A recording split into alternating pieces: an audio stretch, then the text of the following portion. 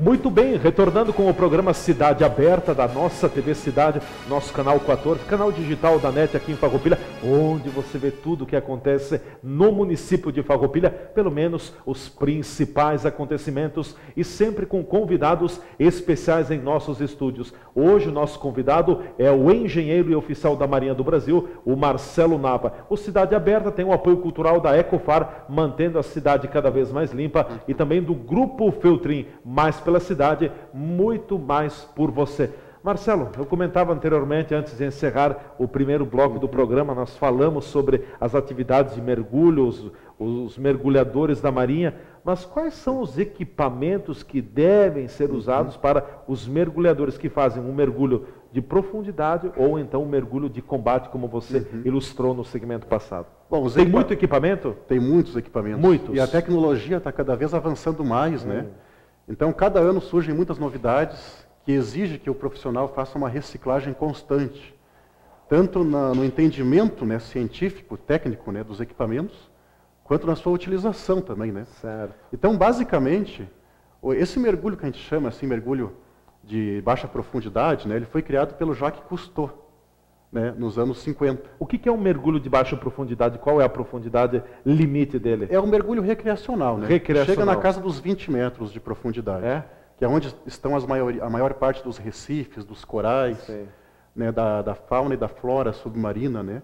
Que, que, é de interesse né, para as pessoas em geral, né? Que querem certo. realizar o um mergulho de uma forma recreacional. Recreacional. Né? De então, entretenimento, de lazer, nesse sentido, né? Isso. Tá. Então, o Jacques Cousteau, né, que criou um equipamento chamado Scuba, né, nos anos 50, quase 60 ali. E esse, esse equipamento, basicamente, ele é constituído por uma roupa que protege do frio, né, normalmente uma roupa de neoprene, né, que é uma tecnologia que foi inventada depois, né, então ele, ele isola o frio do corpo. Ele tem um cinto de, de, de lastro, que serve para fazer afundar o corpo na água, né, de uma forma mais fácil, porque às vezes a pessoa tem que movimentar muito os pés para poder descer. Para poder descer. Uhum. E esse cinto ele ajuda nesse processo de descer. Depois, para subir, é, ele tem então um colete de flutuação. Então, basta... Ele aciona esse colete? Ele aciona. Ele, ele, consegue injetar um pouco de gás ali dentro. Uhum. Normalmente é o gás carbônico mesmo, né? Que ele é um subproduto da nossa respiração. Então, em vez desse gás carbônico é, ser expelido para a água, uhum. ele é, é digamos, é, armazenado, armazenado né, num recipiente, né, num cilindro, e depois ele é usado então para poder fazer a injeção desse colete e facilitar então com que o mergulhador retorne à superfície, né? De uma forma mais segura, gastando menos energia, certo? Temos também o, um profundímetro, né? Que nada mais é do que um computador de, de, de pulso, onde tem informações sobre a profundidade da água, sobre tem uma bússola também incorporada a ele para a gente poder se orientar embaixo da água, saber onde é que é o norte, saber onde é que nós estamos indo onde que é para cima, onde é para baixo, né? Tem, tem, enfim, tem uma noção de orientação. De orientação, certo. Principalmente quando nós estamos imersos numa profundidade muito elevada, que a gente não tem uma referência visual. É muito escuro? A partir dos 80 metros de profundidade, já é um breu total. Que não é possível ver praticamente nada. Sério? Você não tem referência de nada. Você não sabe onde é que é para cima, para baixo.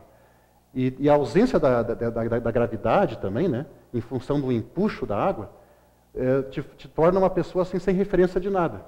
Entendeu? Então, por isso que precisa ter esses instrumentos de pulso para poder faz, fazer uma orientação embaixo d'água. Né? Então, esse computador de pulso é muito importante. É, os próprios cilindros também, onde são armazenadas as misturas gasosas. Né? Então, dependendo de qual profundidade você pretende mergulhar e qual a duração do mergulho, é, pode-se usar um tipo de mistura diferente. Né?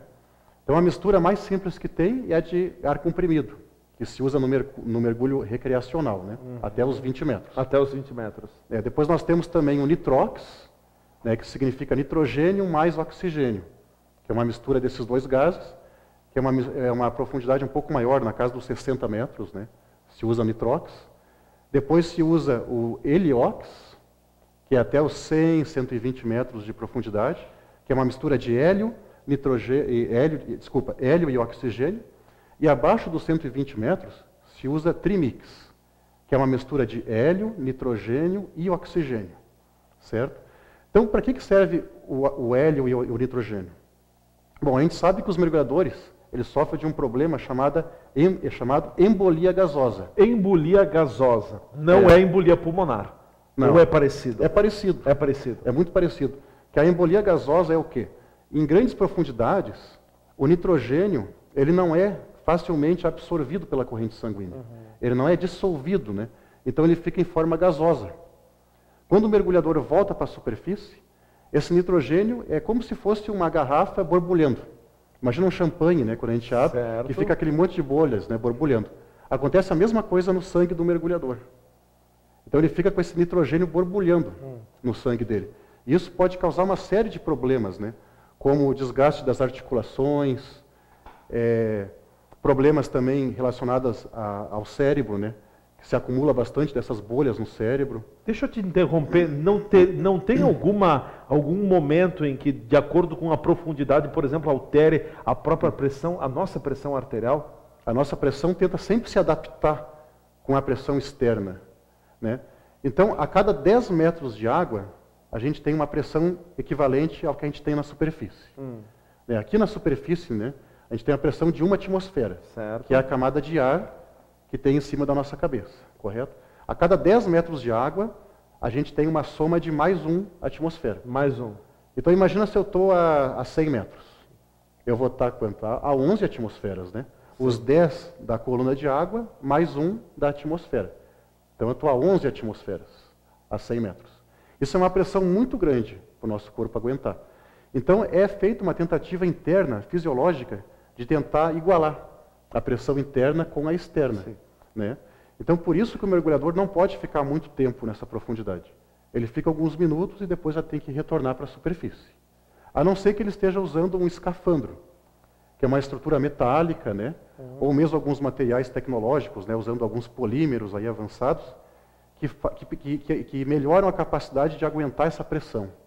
Certo. Essa pressão da água. Um outro equipamento básico também, acredito eu, é o próprio tubo de oxigênio, né? Isso, que são os cilindros que eu estava comentando antes, né? Certo. Então, esses cilindros têm aquelas misturas que eu estava explicando antes, né? Que é ar comprimido, o heliox, o, o, o trimix, né? e o nitrox. Uhum. São essas três misturas. E mais o oxigênio puro. Porque em caso né, de urgência, né, de uma necessidade, tem que ter esse oxigênio ali presente para poder usar. Porque o mergulhador pode ter algum problema de saúde, pode desmaiar por algum motivo. Então o colega dele chega, pega esse oxigênio puro né, e coloca na mangueira dele para ele poder respirar e recobrar a consciência. Né?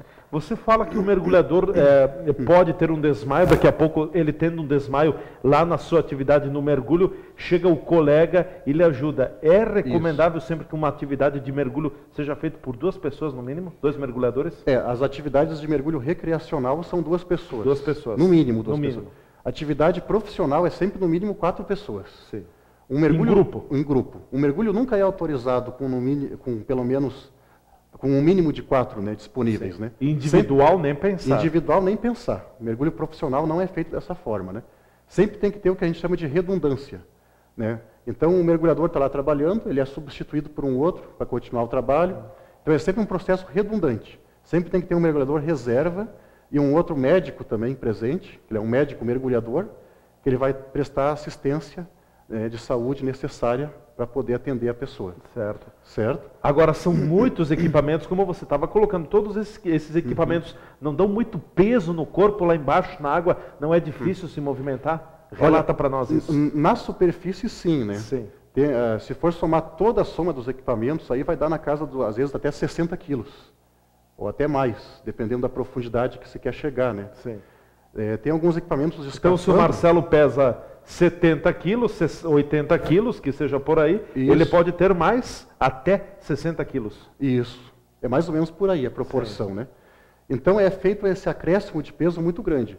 Porém, quando se está embaixo da água, existe essa redução aparente do peso, né? Hum. Porque a própria água cria uma força contrária, né, que é chamada de empuxo. A neutralização. A neutralização. Buscando a neutralização. Buscando a neutralização. Então a gente acaba não sentindo esse peso todo.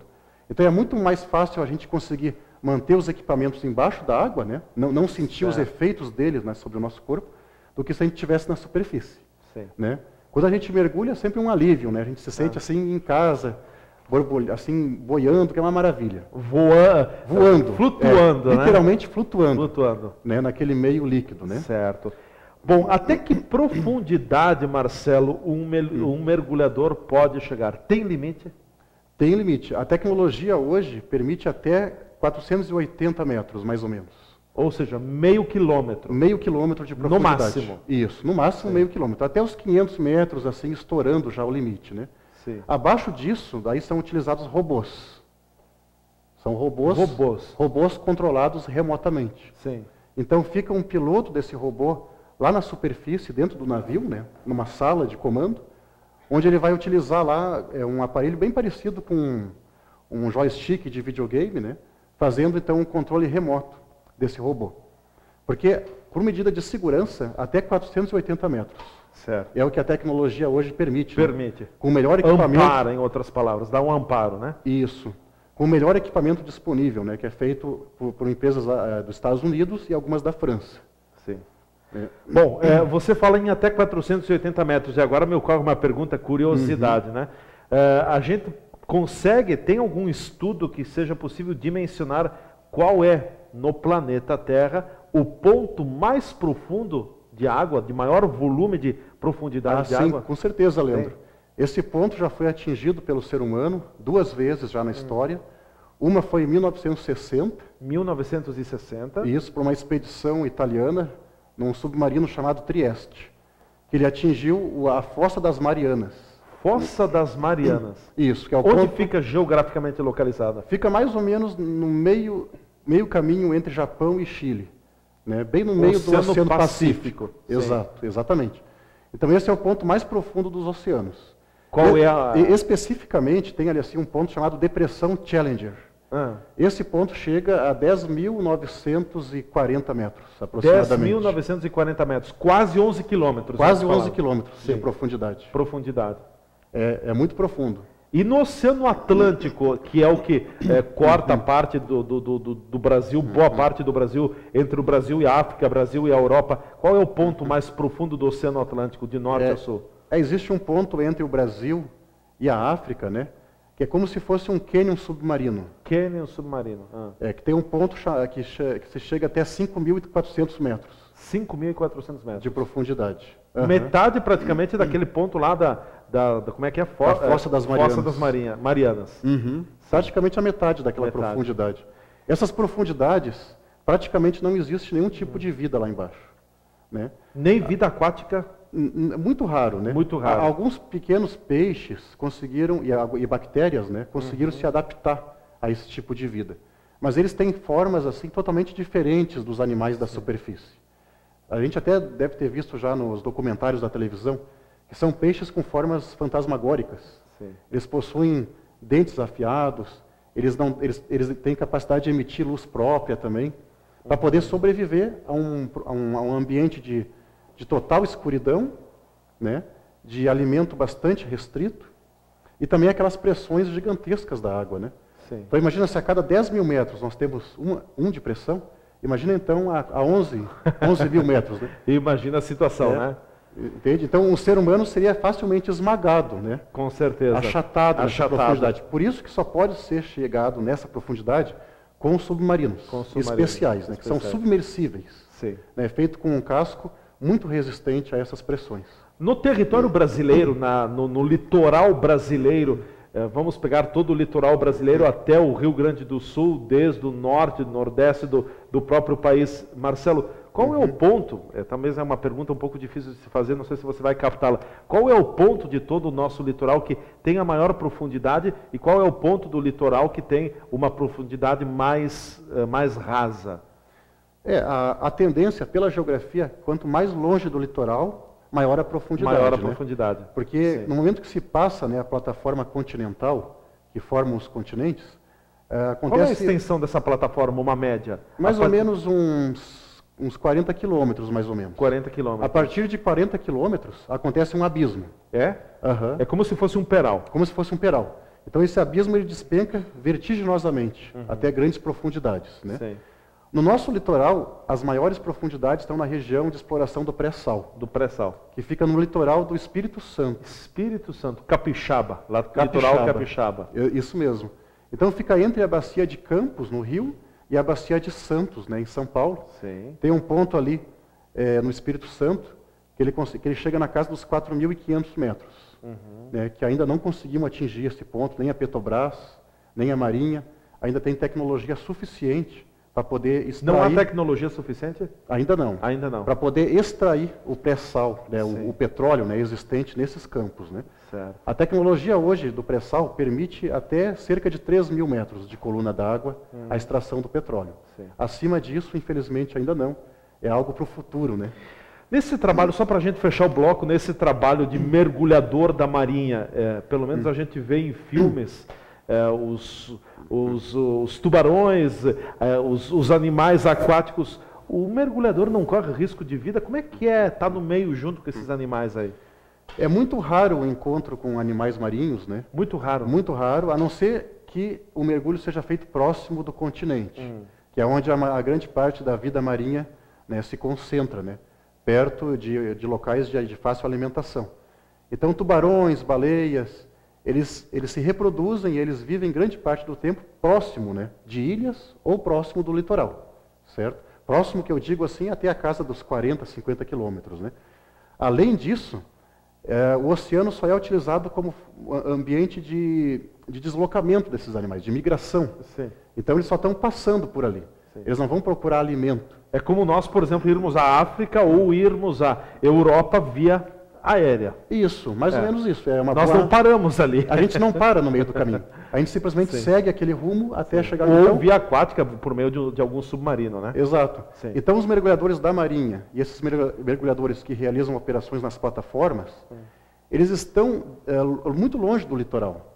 Então, ali é muito difícil realmente encontrar alguns tubarões, né? É, eu já consegui ver baleias, né? Uma família inteira de baleias Uma passou. família? Aham. Eu contei sete indivíduos, Ah. né? Sendo que tinham quatro filhotes juntos, passando por cima da minha cabeça. Mais ou menos assim, uns 30 metros acima Sim. de mim. Então foi um momento assim muito raro e muito Não sentiu medo? não porque as baleias não fazem nada com a gente, né? Se fosse um tubarão. Se fosse tubarão, Uma tubarões, família de tubarões, hein? ia ser mais complicado. eu nunca, eu, eu particularmente nunca encontrei nenhum, mergulho, eh, nenhum, nenhum tubarão, né? Nos mergulhos que eu fiz, mas teve alguns colegas meus que já relataram. Né? Que nem nós temos o tubarão martelo, o tubarão tigre, que são animais muito curiosos, né?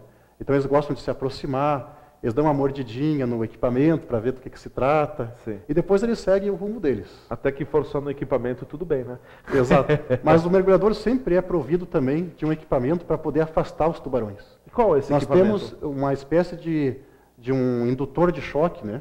Sim. Então, se, se aproximar um tubarão da gente, né, do mergulhador, a gente pode eh, mo- movimentar, é tipo uma- é mais ou menos um bastão, um bastão, que ele é capaz de emitir um choque embaixo d'água, uma descarga elétrica. Uma descarga elétrica. Então a gente aplica essa descarga elétrica ali na pele ou na escama né, do, do tubarão e ele se afasta. ele se afasta sem correr risco de vida. A gente não, não causa nenhum dano ao animal, Sim. é só para afastar ele mesmo. Perfeito. Nós vamos ao nosso espaço de apoiadores culturais aqui no programa Cidade Aberta, hoje conversando com o engenheiro e oficial da Marinha do Brasil, o farroupilhense Marcelo Nava, que está em nossos estúdios. O programa Cidade Aberta tem o apoio cultural da Ecofar, mantendo a cidade cada vez mais limpa, e também do Grupo Feltrin, mais pela cidade, muito mais por você. Nós não vamos mergulhar, mas a gente volta já já com o Cidade Aberta.